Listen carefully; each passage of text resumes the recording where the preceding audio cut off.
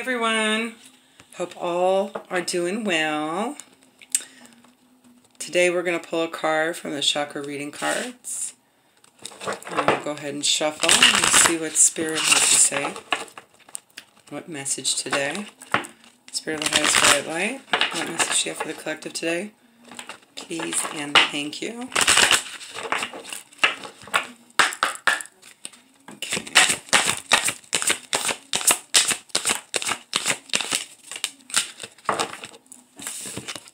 All right. We have number 31, which breaks down to a four peace.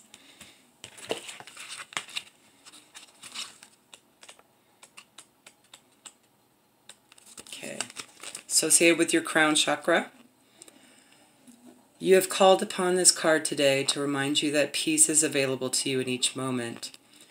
Peace lives within you and surrounds you at all times and you are encouraged to connect with the powerful healing vibration of your soul and the universe. Your life may have been feeling out of control and full of stress as of late, and it's time to stop for a moment and recognize and deeply connect to the peace that lies within you. You may feel the urge to meditate or simply go somewhere in nature where you are able to sit by yourself to feel the peaceful energy that is being offered to you at this time. When you can stop and connect with this energy, it will invoke a deep process of cleansing and renewal, which will make you feel lighter, clearer, and more energized. Sitting with the peacefulness of your being will bring about deep healing on many levels.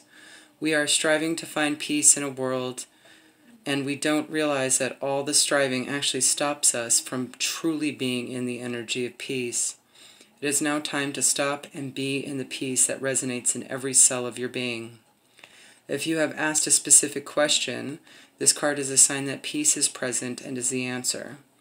Feel the peace in your soul and bathe in its magical essence. The affirmation on the card is, Peace exists in each moment and within every cell of my being. Have a good day, guys.